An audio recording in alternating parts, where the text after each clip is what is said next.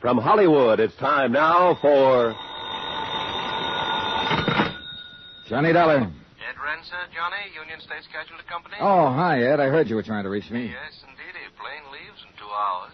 For where? Ensenada. It's a port on the west coast of Mexico, south. Yeah, I know, Ed. I know. I've been there. Well, But now, what do you... Charlie Burton is down there, Johnny. You know the big nightclub TV comic. You know, good old, lovable, boyish Charlie? I've seen his show. Who hasn't? Really keeps you screaming, doesn't he? Oh, he is a killer. Eesh. So what do I do? Go out there and scream it up for You him? go out there and keep him alive. Someone's threatened to murder him. One of his audience, maybe? No, wait, Johnny. This is no laughing matter. Anything happens to Charlie Burton, I cut my throat. Hey, you really do like his show. We're carrying a half million dollars worth of insurance on that boy.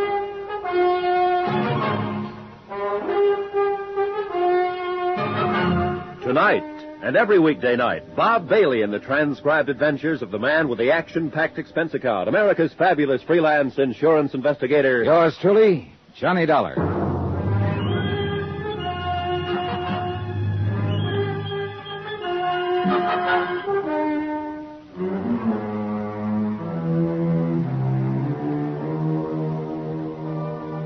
From Special Investigator Johnny Dollar to the Home Office, Union States Casualty Company, Hartford, Connecticut. The following is an accounting of expenditures during my investigation of the laughing matter. Item one, $221.50. Transportation by scheduled airline to San Diego, incidentals there, and charter plane for a flight 80 miles south into Mexico. To Ensenada.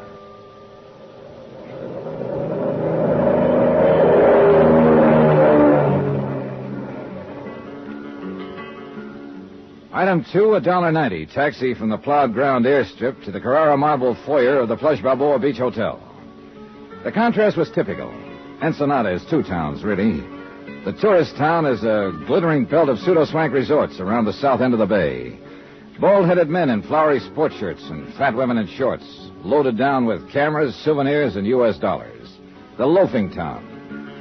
And next to it, the rows of warehouses and docks, the fishing fleets and freezer plants, narrow dirt streets and slums. Soft eyed Mexicans and the gentle liquid sound of Spanish. Native town, the working town.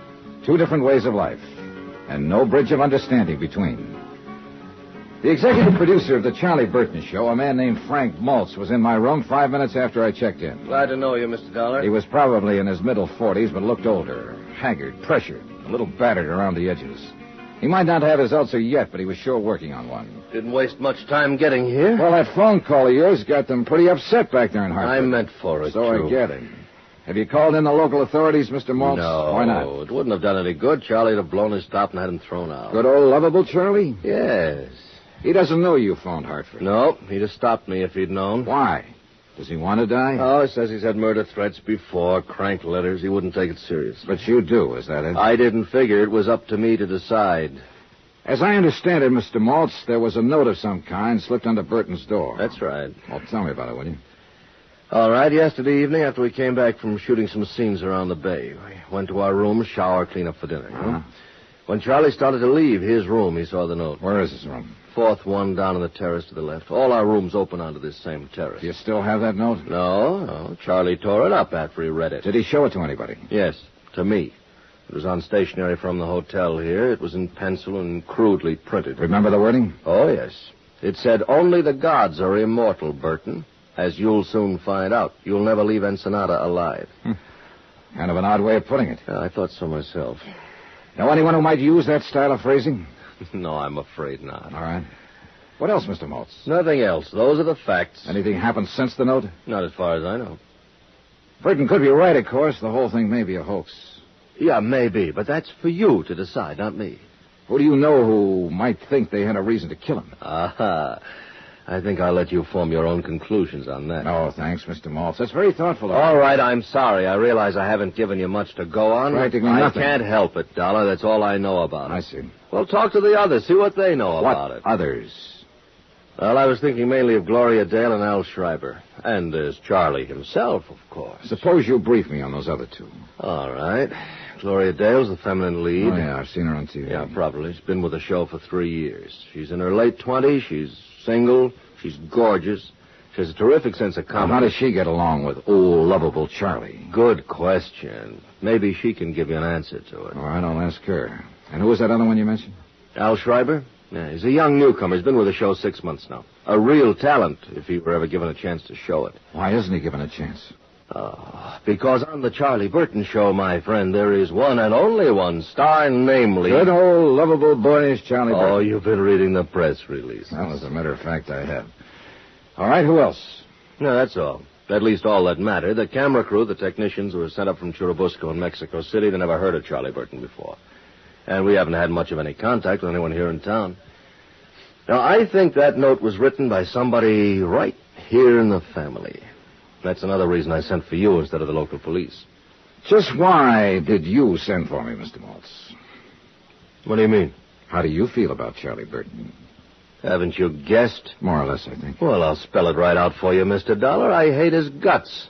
And what do you care whether he's murdered or not? Care I'd get roaring drunk to celebrate it. And yet you're the one who phoned an SOS to Hartford. Well, sure. If Burton does get it, I want an expert around. Somebody will tag the right party for the crime. A matter of justice. Is that it? Why not? Oh, because it's usually just a word people talk about. What they really want is to win. Ah. Is that what you want, Mr. Maltz? Very funny. You ought to go on television. no, I'm waiting till they perfect it. I feel the same way about murder. So the legend of lovable Charlie was starting to crack. One person at least didn't love him, Frank Maltz, his executive producer. And there was something else besides hate in Frank Maltz's eyes, of weariness or bitterness, something I couldn't quite place. I filed the thought for the moment, took time to shower and change, and went looking for another pair of eyes, a prettier pair. And I found them, alone on the terrace with their owner. They were turned toward the west, toward the last golden edge of the sun as it sank into the Pacific. They were big and blue, and very lovely. Hello there.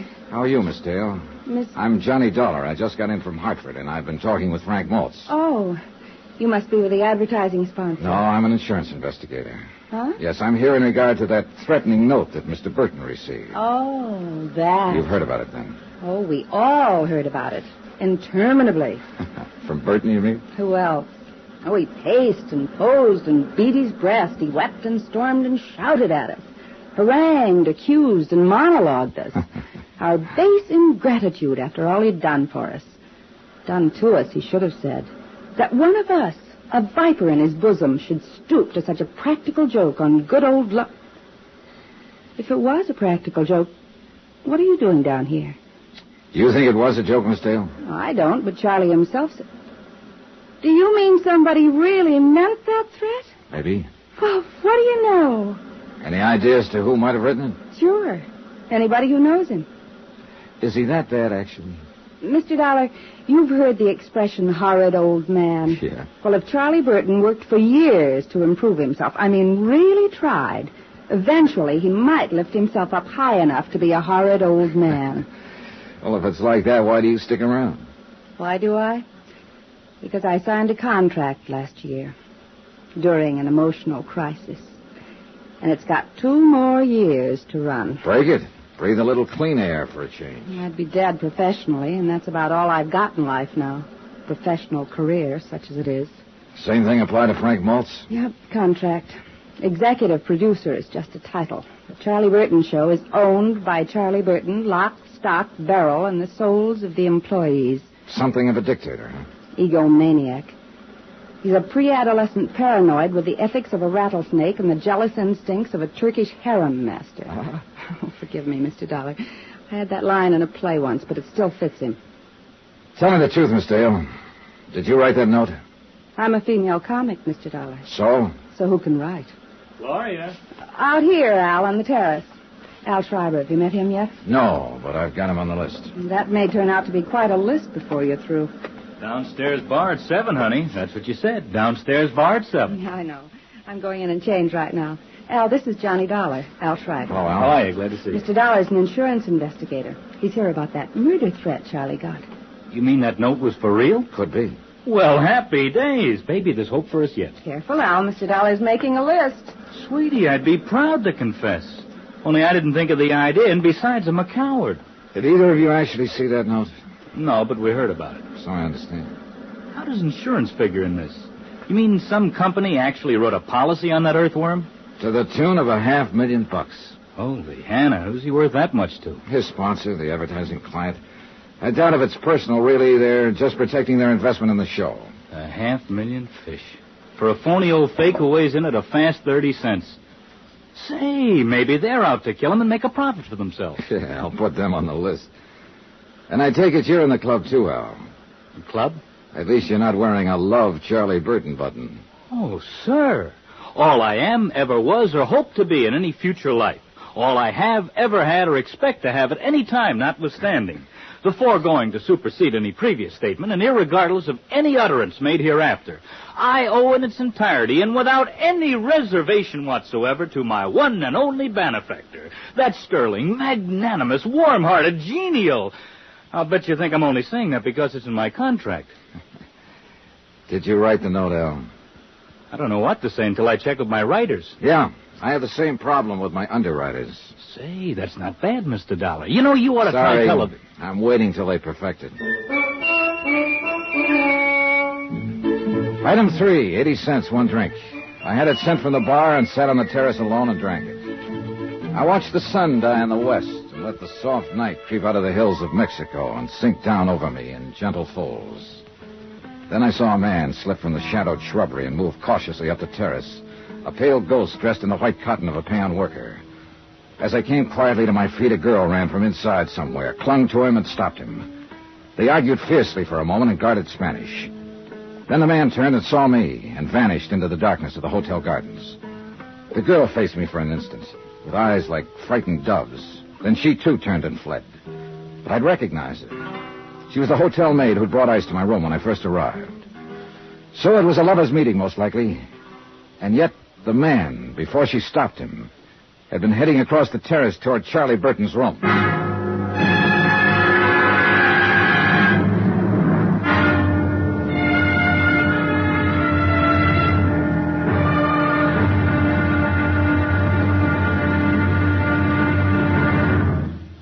Here's our star to tell you about tomorrow's intriguing episode of this week's story. Tomorrow, the great man condescends and shivers a little, too. And a girl's hidden hate is blacker than the sea-wet rock she vents it on. Join us, won't you? Yours truly, Johnny Dollar.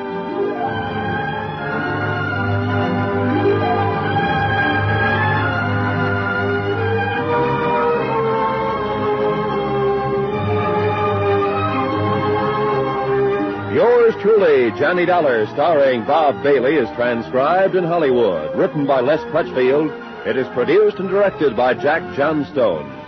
Be sure to join us tomorrow night, same time and station, for the next exciting episode of Yours truly, Johnny Dollar. Roy Rowan speaking.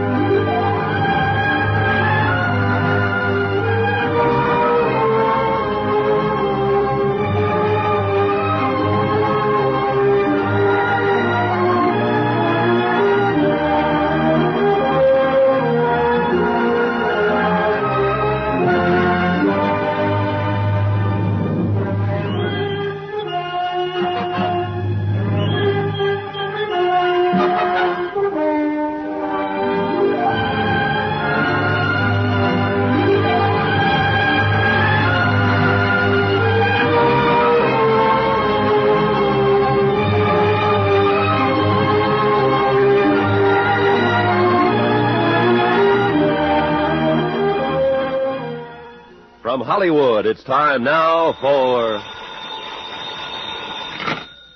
Johnny Dollar. This is Charlie Burton, Mr. Dollar. Oh, yes. Was hoping you'd come out of seclusion. Seclusion. I arrived in Ensenada at 4 o'clock this afternoon. It's now 10 p.m., and I still haven't been able to see the man I'm supposed to protect. I did not invite you here, Mr. Dollar. I do not need any protection. Well, my insurance company doesn't agree with you, and they've got a half million dollars riding on your life. Look, my life has not been threatened. That note was a mere bit of buffoonery perpetrated by one of those nearest and dearest to me.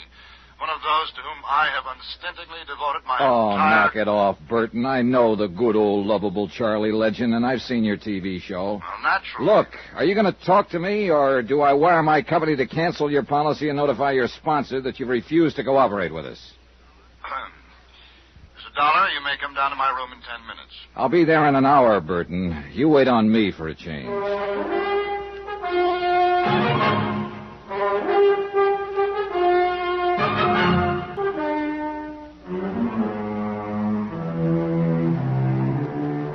From Special Investigator Johnny Dollar, location Ensenada, Mexico. To the Home Office, Union States Casualty Company, Hartford, Connecticut. Assignment, The Laughing Matter. Expense account continued. Item five, a dollar and forty cents. Taxi from the hotel in the village to the Commandancia Police on Frente Avenue. I wanted a rundown of one of the maids at the hotel, a girl named Velena Morales. I'd seen her on the hotel terrace shortly after dark near Charlie Burton's room. Seen her arguing with some man who'd managed to slip away from me in the darkness. Captain Peral said he'd check with me later and politely avoided asking what it was all about. If he had, I couldn't have told him. The Charlie Burton comedy show was on location at Ensenada, Mexico, and Frank Maltz, the producer, had frantically phoned Hartford and claimed Burton's life had been threatened. Burton thought it was a practical joke. Maltz didn't know. Neither did I. But I was there to find out.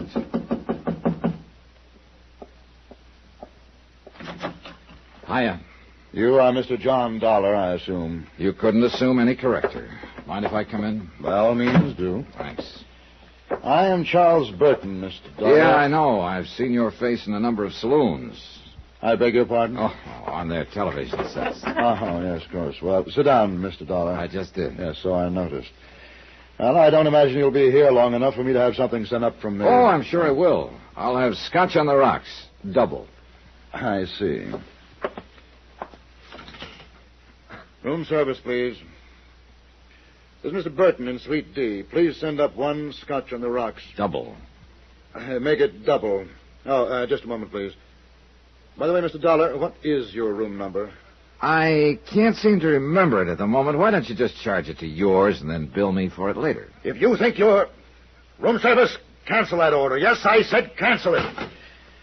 I will not tolerate this high handed attitude from a hireling, sir. But not your hireling, Burton. Now, let's get a few things straight right now.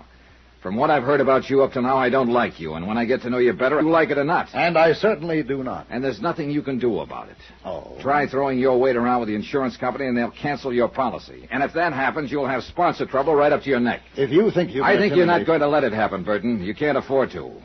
So cut out the kidding and let's get on with it. You know, I I like you, Dollar.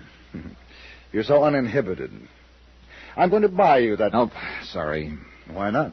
I didn't want it in the first place. It was only a way to get your goat break down that phony guard. But uh, have one yourself, though. Now, drinking is not one of my vices. Oh, so that explains it. Explains what? It wasn't one of Hitler's vices either. You're so delightfully insulting, you know. One can hardly take offense. Too bad. I'd hope for better results. Would you mind telling me just who exactly is responsible for this prejudiced opinion you have of me? Well, as I remember, it was fairly unanimous. As I know, you talked to Frank Maltz. Maltz, of course, is bitter because he hasn't been given complete control of my show. Or any control, the way I hear it. As long as it's the Charlie Burton show, Mr. Dollar, Charlie Burton intends to run it. Only the gods are immortal. Isn't that what the murder threat said? I'll get to that. Then there's Gloria Dale, my leading lady. Dear Gloria. I suppose she told you I've treated her very badly. Practically forced her to sign a contract that pays her several thousand dollars a week. A hideous fate, actually. It could be. And Al Schreiber? Did he mention the fact that I took him out of a 40 a week burlesque house and taught him the subtleties of high class, big time comedy?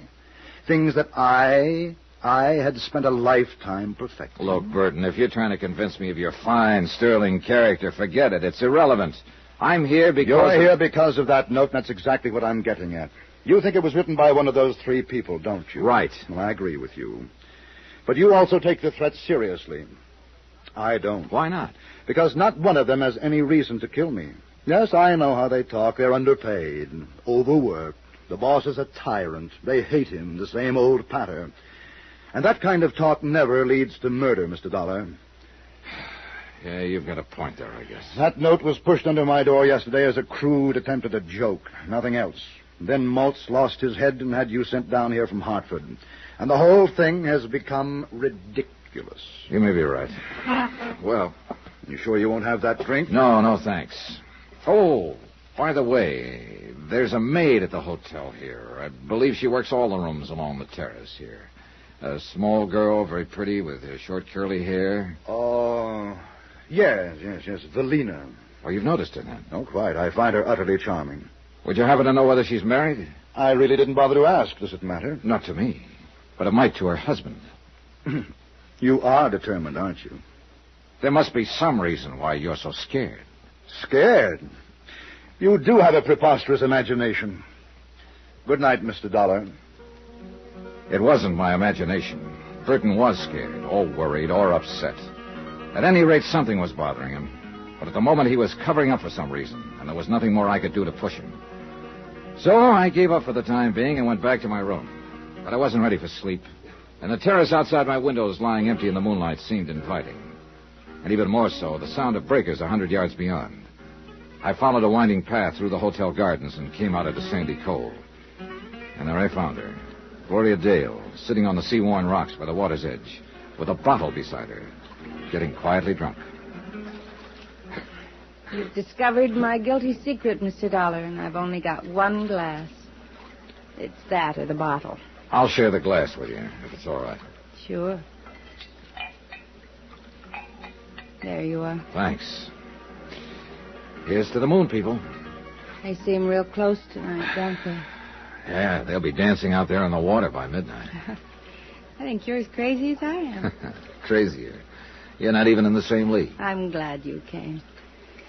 I go sort of nuts on moonlit nights by myself. Hey, what happened to Al? Weren't you two together? I sent him off to bed. He gets a little wearing sometimes. He's real gone on you, isn't he? I guess so. And you? He's a good guy. I like him a lot. He's fine, but But no click, huh? no click. To better better click. Hey, easy, kid. You're drinking it straight, you know. Help yourself. What are you trying to do to yourself, Gloria? Learn to forget. Forget the emptiness, the hollowness. There's nothing in me anymore. Except the hate, of course. There's plenty of hate For Charlie Burton? for Charlie Burton. Do you hate him enough to kill him? You've always got your eye on the ball, haven't you, Mr. Dollar? More or less. Would you like to tell me about this emptiness? No, I don't think so. All right. Why not, though? It's the edge of the land and the edge of the sea. And you're from the moon, and you go back there at dawn. So why not? Here's to the moon. It makes people crazy. Hey, save half of that one for me. Oh, sure. Here you are. Yeah, just leave it there. So? Well, a year ago, my contract was up. And I was leaving the show. And I was about to be married. Jerry, his name was. And he's the only man I ever really loved. Uh-huh. Burton was furious. Said I was letting him down. I was ungrateful. But he couldn't stop me because my contract was up. And one morning I got a note from Jerry. Special delivery. We were through, it said. Why? No explanation. Just a cold, vicious note. That same morning, Jerry left town with a friend. Chartered a plane and went to Canada on a hunting trip. And you didn't find out the reason for it? Later, yes. At the time, I was hurt. I was terribly hurt. I signed a new contract and went on working. And months later, I got the story roundabout. What was it? A private detective, one of the crooked ones, had gone to Jerry with a complete report about me, supposedly. My private life, field reports, affidavits, statements, even photographs. A fake, the whole thing. But it convinced Jerry. You know who was behind it? I can guess. Sure. Good old, lovable Charlie Burton. He wanted to make sure I'd sign that contract. But when you did find out, why didn't you go to I Jerry? I wish I could have. That hunting trip, the plane, it crashed. Jerry never came back. He was killed. That's crazy, huh? Oh, no, easy, sweet. Do I hate Charlie Burton enough to kill him? That's what you asked me, wasn't it? Sure, I hate him enough. A thousand times enough. Only I haven't got the nerve. So what do I do? I drink. Gloria. The hotel. Help me get back there. Please, Johnny. Will you take me home? Love and hate, and the Black Sea Rocks, and a lunatic's moon at midnight. And no help on this earth for a wounded heart but time itself. A tide was rising now and rising fast, and hidden by the darkness, a wave curled and broke. And time ran out. I lunged out of bed and fumbled in the blackness for my robe and slippers and gun. Yeah, who is it? Charlie Burton. Open up, hurry. Dollar, you better protect me. Somebody took a shot at me through my window from the terrace. Oh, it was probably just a crude practical joke. Joke! Joke! This is no laughing matter. Don't you understand, Dollar? Somebody's out to kill me.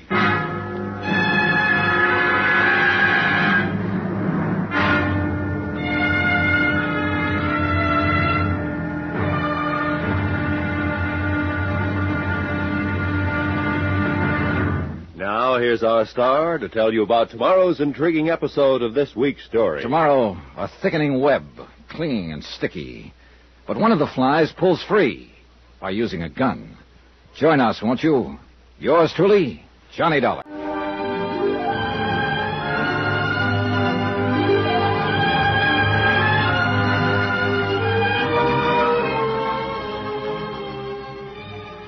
From Hollywood, it's time now for. Johnny Dollar. Capitan Davidro Paral, senor, of the Ensenada Police. Oh, hi, Peral. I tried to call you a few minutes ago. We've had a shooting out here at the hotel.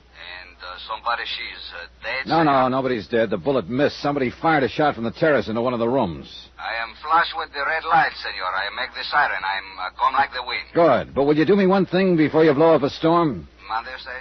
There's a man missing from his room here, a friend of the man who was shot at. He must be around town somewhere. Pues see. He's an Americano, about 45, name's Frank Maltz. Frank Miles. Bueno, we'll find him. I'm going to make one uh, APC T.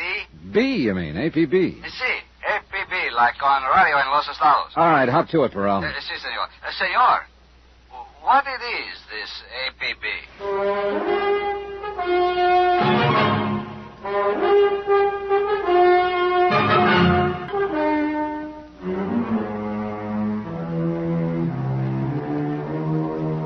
From Special Investigator Johnny Dollar, location Ensenada, Mexico. To the Home Office, Union States Casualty Company, Hartford, Connecticut. Assignment, The Laughing Matter. Expense account continued. Item six, one dollar, a pot of coffee from the hotel kitchen, special. It was 1 a.m. I'd been half asleep when the shot was fired, and I hoped the coffee would help get me at least half awake.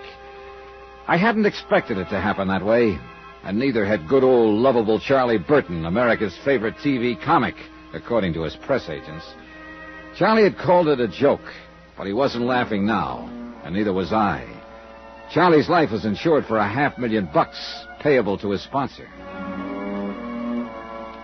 Where he is, senor, this uh, man who was get shot? He didn't get shot, Peral. He got shot at. Pues see, is what I wish to say, but the tongue is no make English too good. Well, you're doing fine.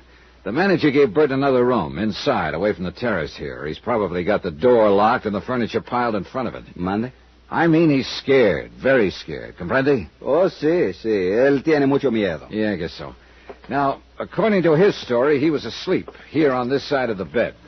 Someone fired the shot from outside on the terrace. It broke the window there. And the bullet lodged here in the bed, about six inches above Burton's head where he was lying on the pillow. I see, yo puedo verlo.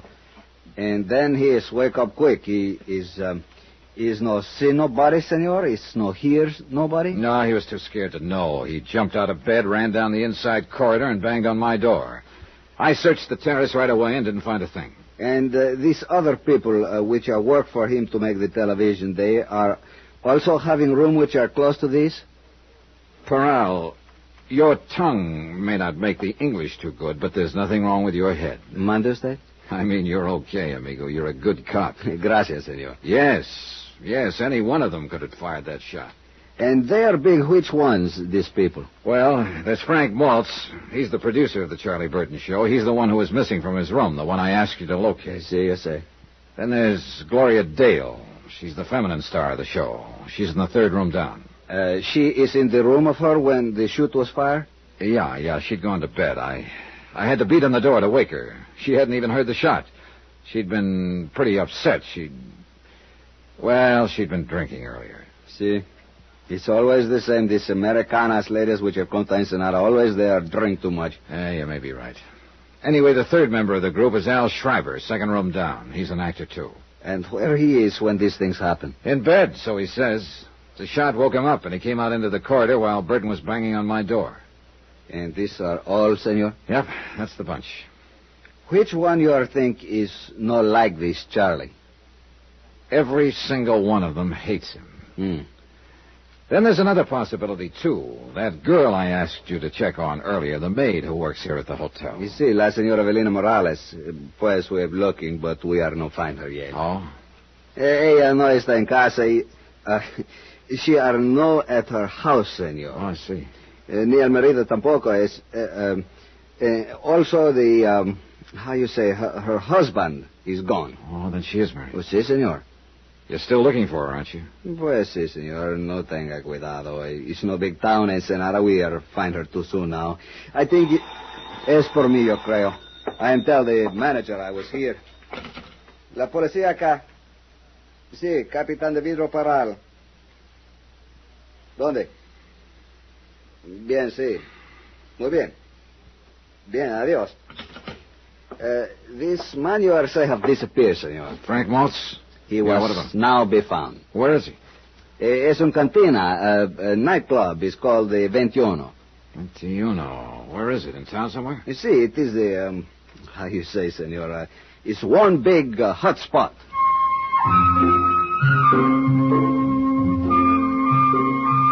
Item seven, one dollar, taxi into town. Peral stayed at the hotel to talk to Charlie Burton and the others. I thought it might do some good, at least by keeping them off balance. Regardless of his knowledge of English, Peral was a smart lad, and his eyes never missed a thing. The Veintiuno may have been a hot spot earlier, but at this time of night it was almost deserted. There were a few weary B-girls drowsing at the bar, a scant handful of last-ditch patrons, and Frank Maltz, alone at a table, glowing with mellow geniality and bottled health.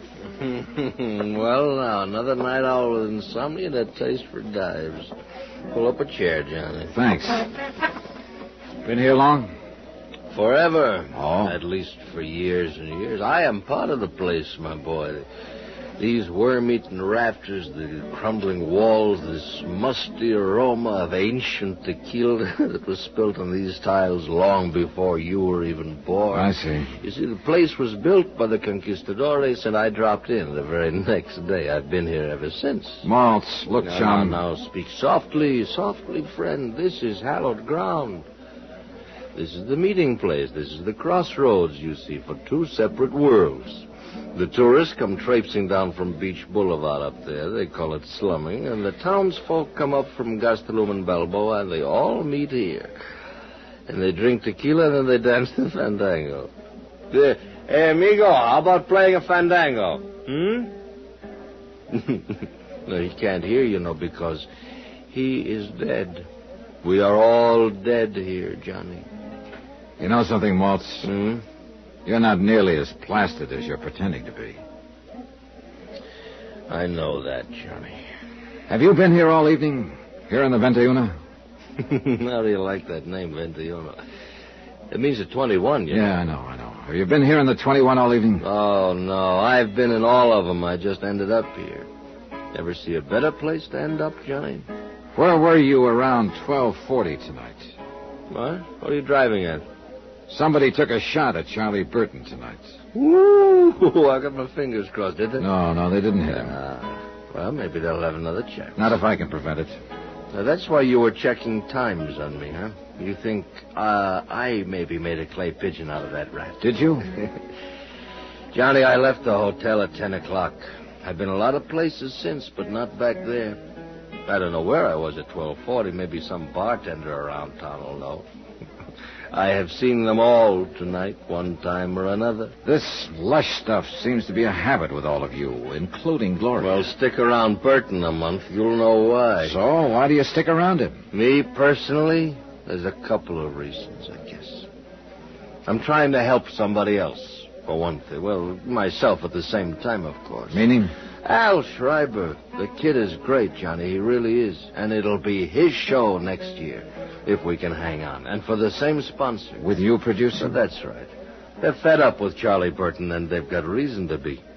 He's a phony name, Johnny, nothing else. It's a fake. It's a build-up. They've got to spend more on press relations now than it costs to produce the show. Then with Charlie out of it, you and Al would be in.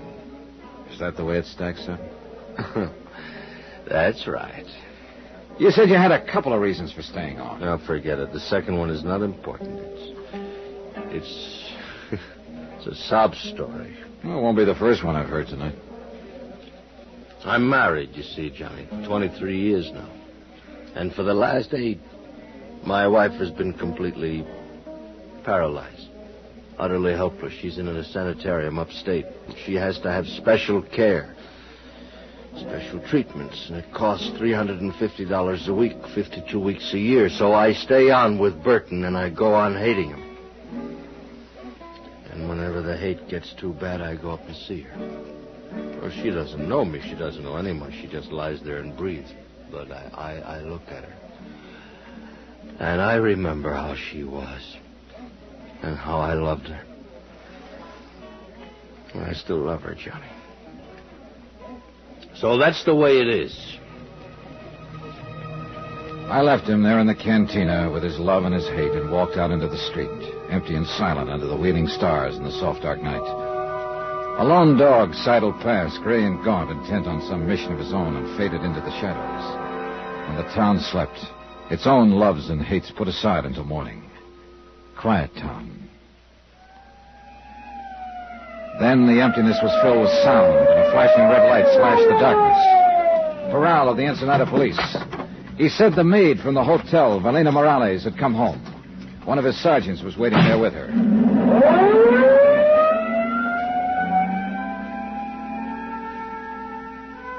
Buenas noches, senora. Buenas noches. The tiny room was lit by a flickering oil lamp, and a candle burned beneath a crucifix on the wall above the bed.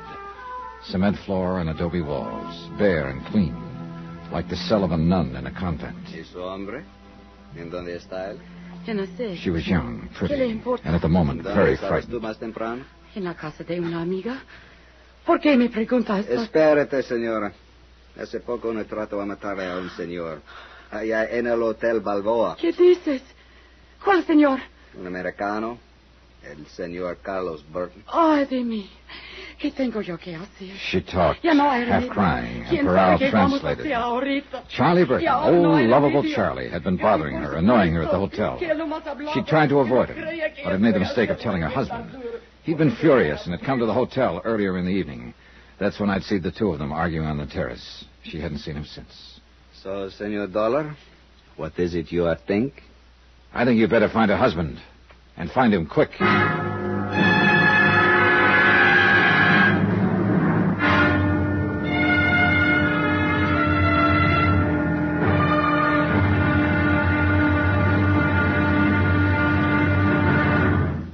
Now, here's our star to tell you about tomorrow's intriguing episode of this week's story. Tomorrow, Death tries once more, and this time doesn't miss. But Death, you know, is blind. Join us, won't you? Yours truly, Johnny Dollar.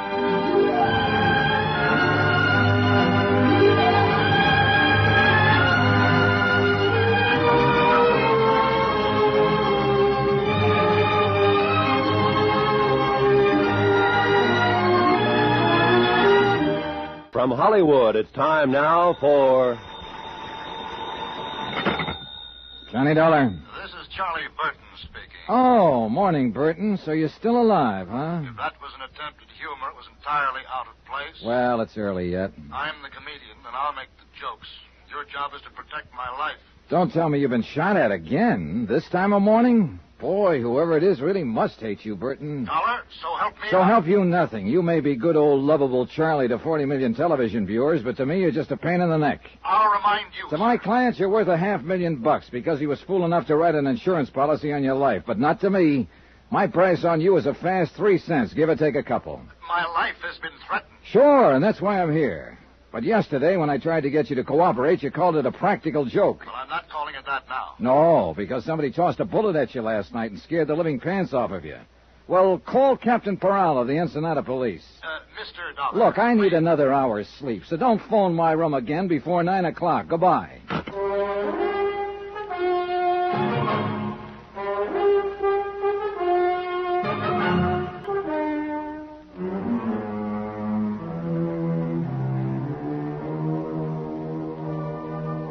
From Special Investigator Johnny Dollar, location Ensenada, Mexico. To the Home Office, Union States Casualty Company, Hartford, Connecticut.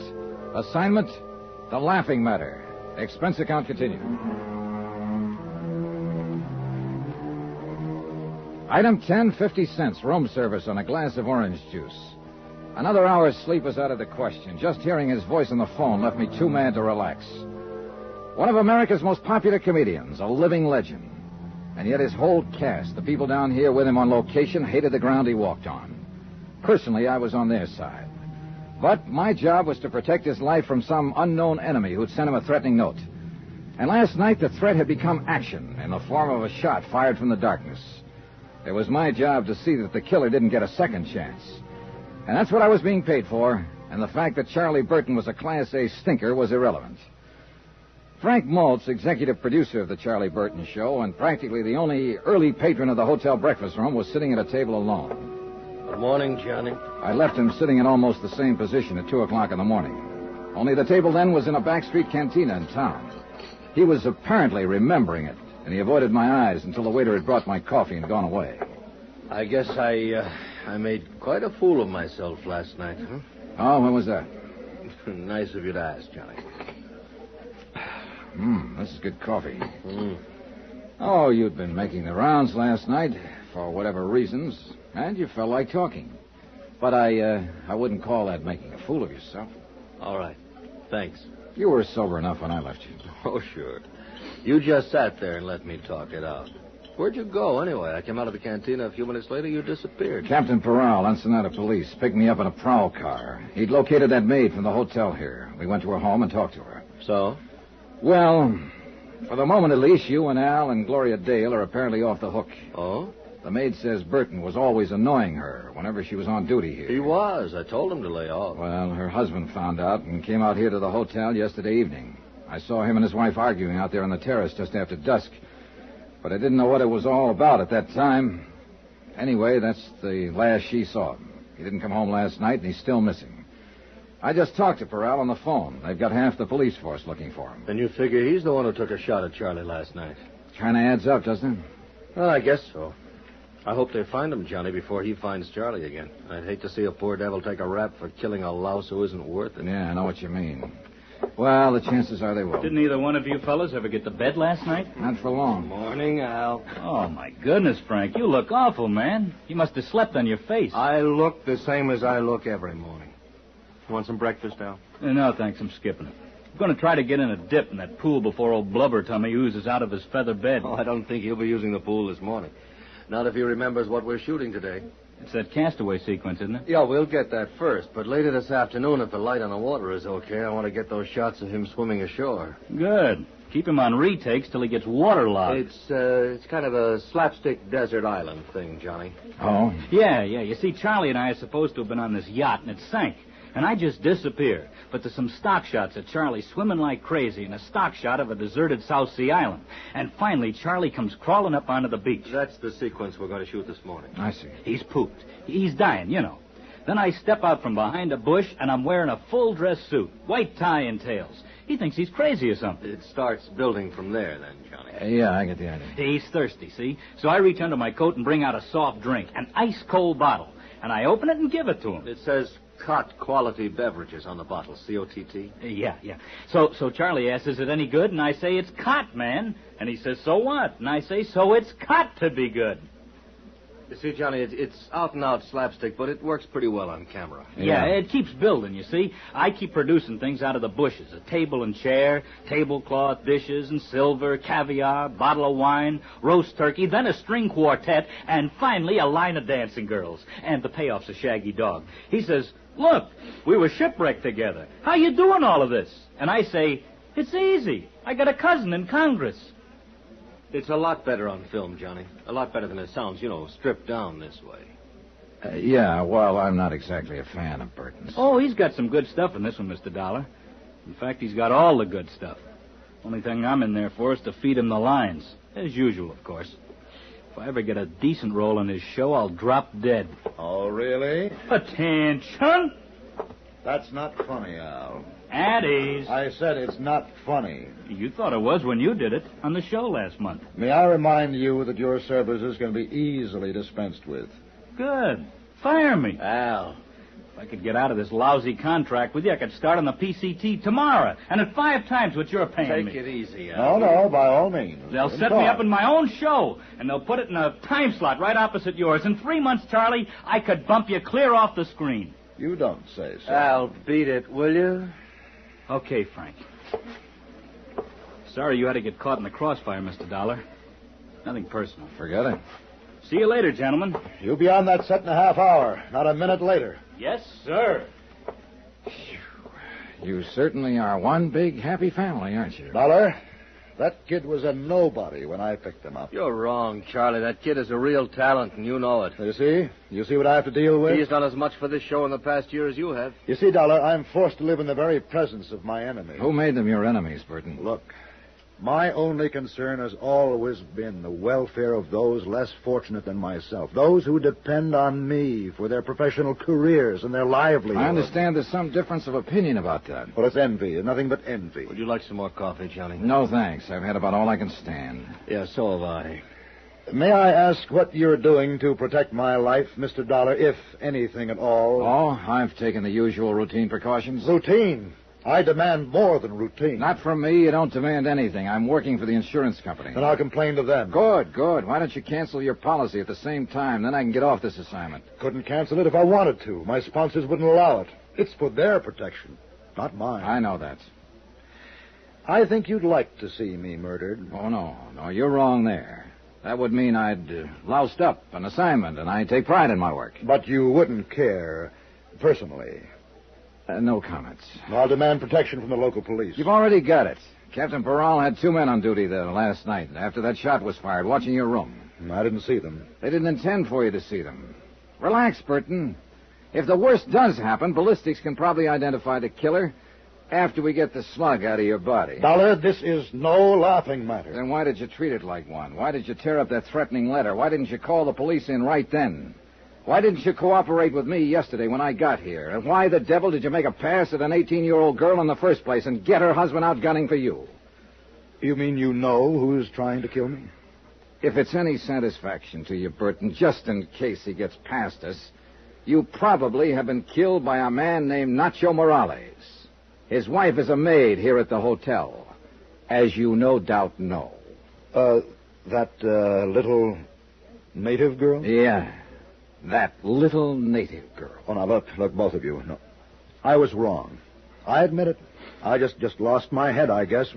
When a man's under pressure all this time, as I am, he doesn't always think straight. Now, I didn't mean any harm toward her. Maybe you'll be able to convince Nacho of that if he waits long enough to listen. No, don't, don't, please. I, I know you hate me, all of you do, but I'm not as bad as you think. You just don't know the load a star has to carry. Then why don't you tell us about it? You, Frank. You don't think I'm being fair with Al. You think I'm holding him back, not giving him a chance. Well, you're wrong. I'm actually carrying him, teaching him things I've learned over the years. Oh, he knows quite a bit now, Charlie. So you don't believe me? You don't think I know what I'm talking about? Well, let's- All right. All right, I'll show you. Al said he was written down in today's sequence. He said that I, I had the great role. You heard him say Well, it. Well, yes, Then let him have it. I'll What? trade with him. You mean that? Yes, I mean it. Let him change any line he wants. If it is his style, he can play it any way he likes. I'll take that role he says is so bad, and I'll still come out the star. All right, all right, all right. Charlie, we'll have a go at it. Fine. I'll see you on the set unless somebody manages to kill me first. Good morning, gentlemen. Oh, I never thought I'd live to see the day. Yeah, that shot last night must have really shaken him up. Oh, that kid will make him look sick, Johnny. He doesn't know what he's in for. Well, there's one way to find out. Oh, wait a minute, Johnny. I've been thinking about something you said. Oh? That maid, uh, Morales' wife, does she speak English? No, just Spanish. Well, what about her husband? Same deal, only Spanish. Well, but the note, Johnny, the murder threat Charlie got, that was written in English. Yeah, I know. South Sea Island set was built on the beach at the far end of the bay. The technicians and the rest of the cast were already there when Maltz and I arrived, and they started shooting 15 minutes later. Gloria Dale wasn't in the sequence, so she slept in at the hotel. Some of Captain Peral's men were on hand, on the lookout for Nacho Morales, but he didn't show. By three in the afternoon, they were nearly finished. They'd shot the last scene once, but Maltz decided on a retake. So Hal sat down again at the fully laid table on the beach, and they started to roll. He poured himself another glass of colored water from the prop wine bottle and began to carve the roast turkey while he exchanged lines with Burton. Then suddenly Al missed a cue, faltered on a line, and Maltz cut the cameras. Al pushed back from the table, stood up slowly, then staggered and fell. I rushed toward him, pushed through the crowd that was gathering, and kneeled down beside him. But he was already dead.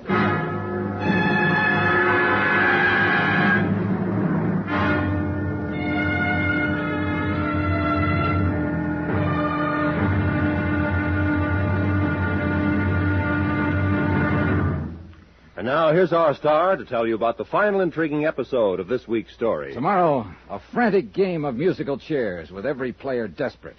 Because the loser in this game gets the electric chair. Join us, won't you? Yours truly, Johnny Dollar.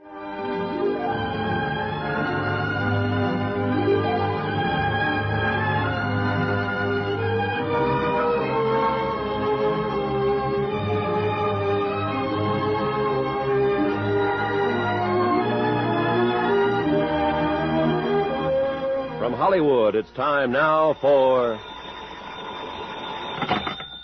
Johnny Dollar. And would you ask John? Oh, it is you. Was there some doubt about it? No, but I was phoning Captain Peral. He's out of his office at the moment. What's the matter, Burton? Somebody shooting at you again? That's not funny, Mr. Dollar. Who's laughing? A man's been murdered, you know. And I think that's anything but a laughing matter. I said, who's laughing? And except for the whims of fate, it might well be me lying dead at this moment. And that's really why you're upset, isn't it, Burton? Because it might have been you.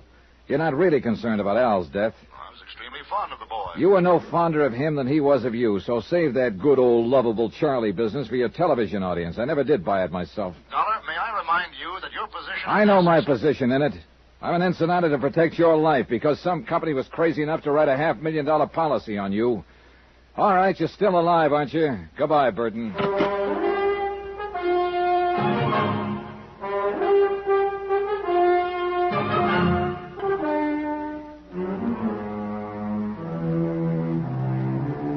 From Special Investigator Johnny Dollar, location Ensenada, Mexico, to the Home Office, Union States Casualty Company, Hartford, Connecticut.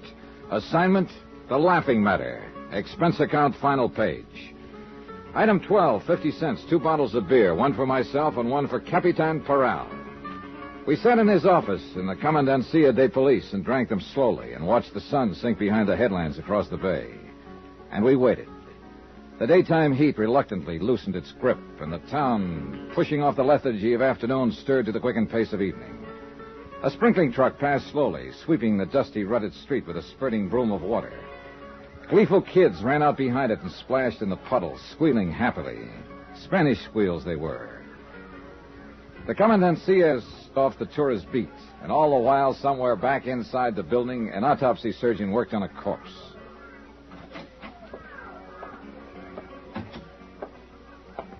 Bueno, senor. Ya está listo. The medical is all finished now. Well, what's the verdict, Peral? It's what we are thinking. Él se mató por veneno.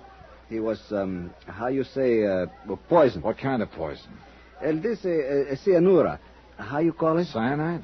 Uh, Si, senor, cyanide.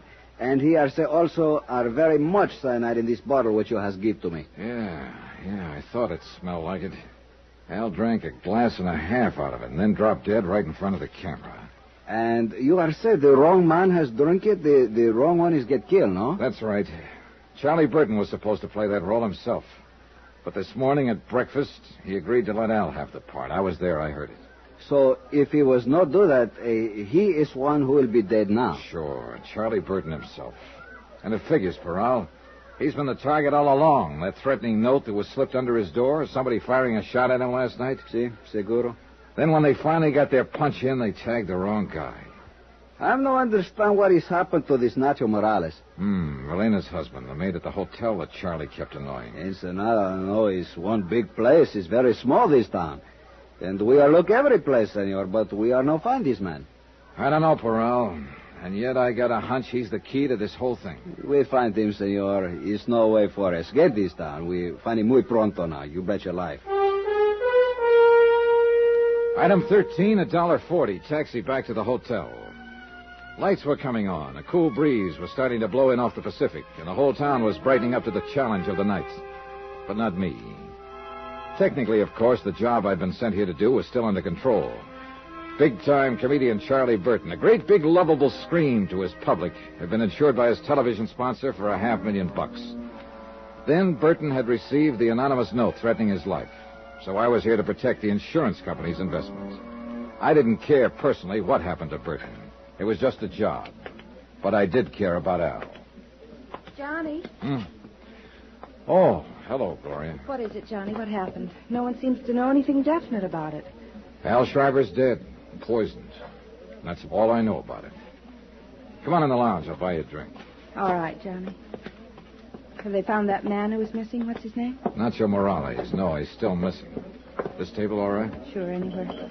Waiter, Si, senor. two margaritas, please. Muy bien. Frank Maltz said something about Charlie and Al changing parts. Yeah.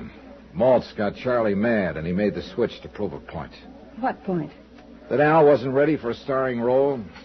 Oh, that's right. You didn't come down for breakfast this morning. No, I wasn't in today's scenes, so I just slept in. It's just as well. It wasn't a very pretty sight. Oh, it's a rotten shame. Al was a real swell guy. Con permiso, senora. Oh, ah, here you are. Gracias, senor. Boy, the irony in this world, Johnny. What do you mean? Charlie Burton, who's been a rat all his life, makes his usual crude play for the maid here in the hotel, and what happens? Her husband hits back at the wrong man. Al gets killed. A kid who'd never harm anybody in his life, and Charlie gets off scot free. I was with Captain Peral last night when he talked to the Morales girl, not his wife. She doesn't speak any English, Gloria. And she says her husband doesn't either. Well, he wouldn't need to, would he, to pull a trigger or poison a bottle of Maybe not. But he would, in order to write a threatening note in English. Oh, yeah, I'd forgotten about that. If Nacho's in it, he's not in it alone. And I've got a hunch he's. El de teléfono, senor. Oh, thanks. Johnny Dollar. This is uh, Capitan Peral, senor. What is it, Peral?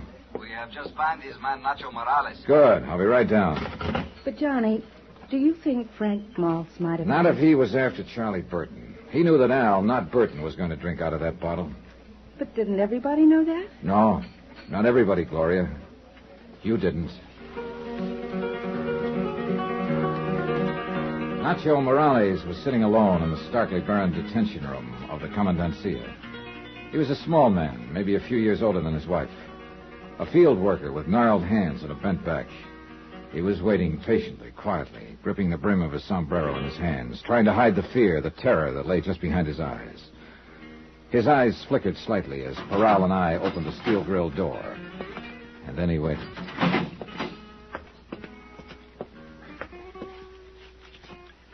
Buenos días, hombre. Buenos días, capitán.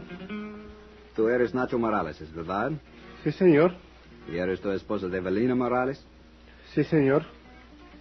¿Cómo pasó la noche, hombre?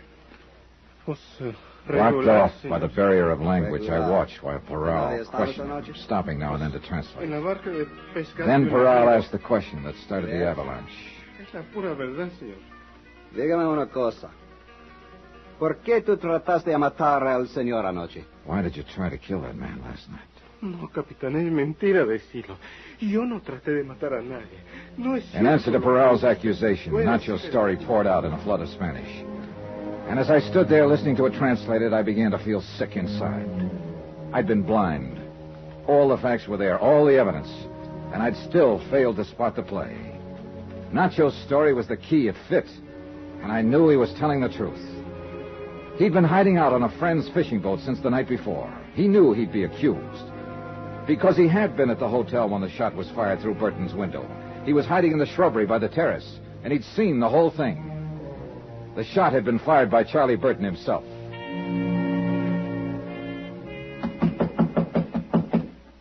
Who is it? Johnny Dollar. I want to talk to you, Burton. All right. Just a minute.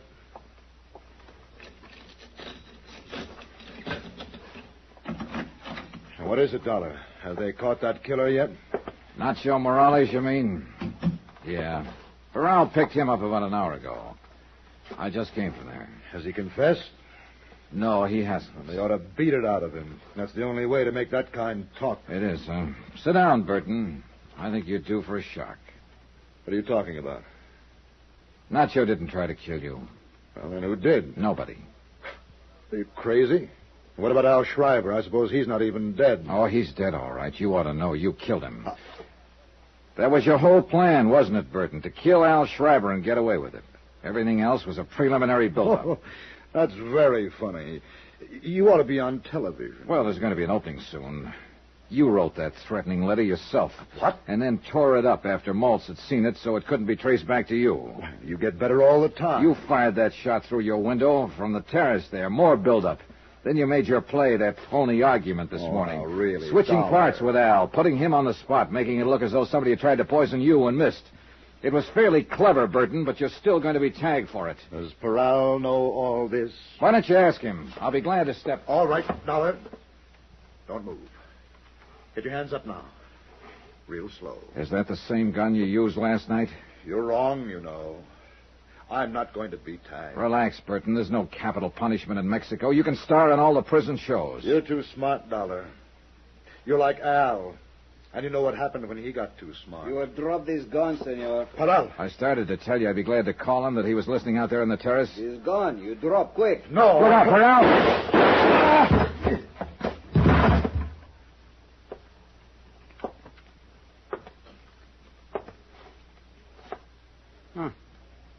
Mira, senor. I am not shoot too bad, I think. No. No, not bad at all, Peral. Well, he asked for it. I am see he is go to pull this trigger, so I are to shoot much fast. Bam, bam, bam. Can tell you, he's look very surprised, senor. Yeah. It's too bad he couldn't have seen the look on his face. A comedian would have really appreciated it. Or he'd have died laughing.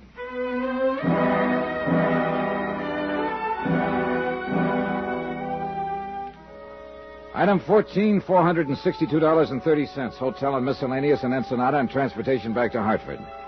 Expense account total, $791.55. End of account, end of report. Remarks? Ray policy on the life of Charles Z. Burton, deceased. Refer clause 34, subparagraph C, quote. If the insured dies while committing a felony, this policy is null and void, unquote.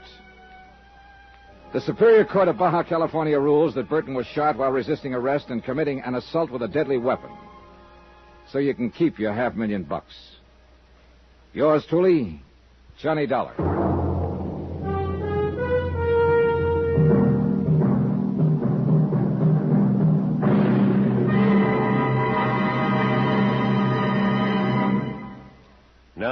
Here's our star to tell you about next week's intriguing story. Next week, a frantic chase across the country after a girl who couldn't possibly exist. Then suddenly turned up. Join us, won't you? Yours truly, Johnny Dollar.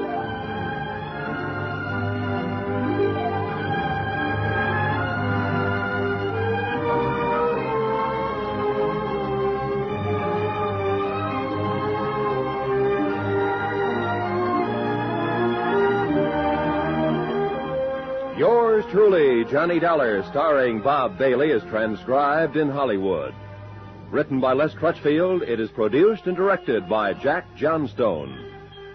Heard in this week's cast were Virginia Gregg, John Dehner, Lucille Meredith, Lawrence Dobkin, Gil Stratton, Harry Bartell, and Don Diamond. Musical supervision by Amerigo Marino and Carl Fortina. Be sure to join us on Monday night, same time and station, for another exciting story of yours truly, Johnny Dollar. This is Roy Rowan speaking.